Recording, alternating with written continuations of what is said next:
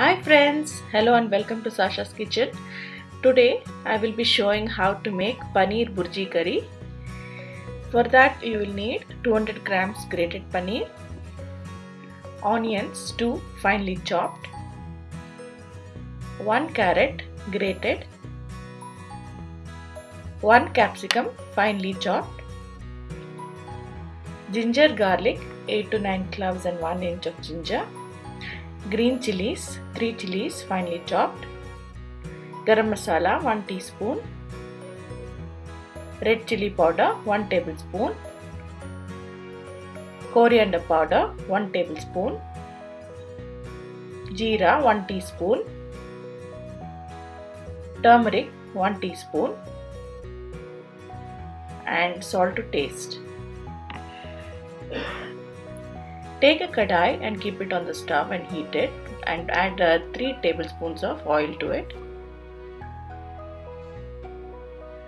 When the oil is heated, add jeera for the tempering. Add the green chilies finely chopped. I have taken 3 green chilies here. Add the turmeric and chopped ginger garlic. I've chopped them finely. Instead you can use ginger garlic paste as well.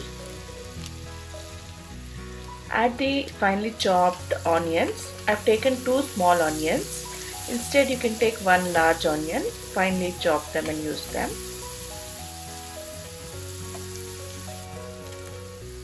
Now add uh, the finely chopped capsicum you can add these vegetables in quick succession. Add the finely grated uh, carrot and toss them.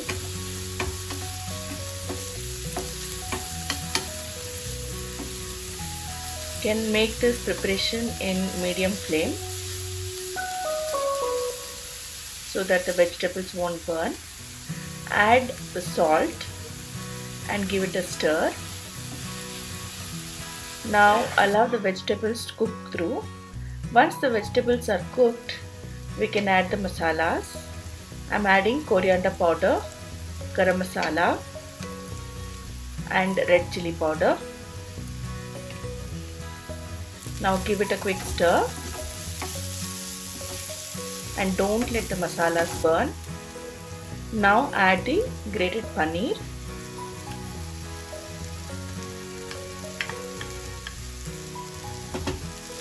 and give it a good mix.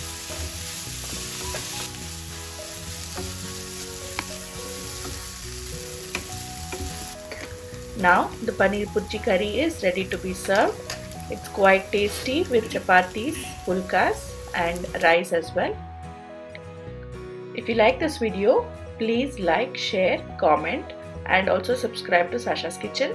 Thank you so much for watching friends.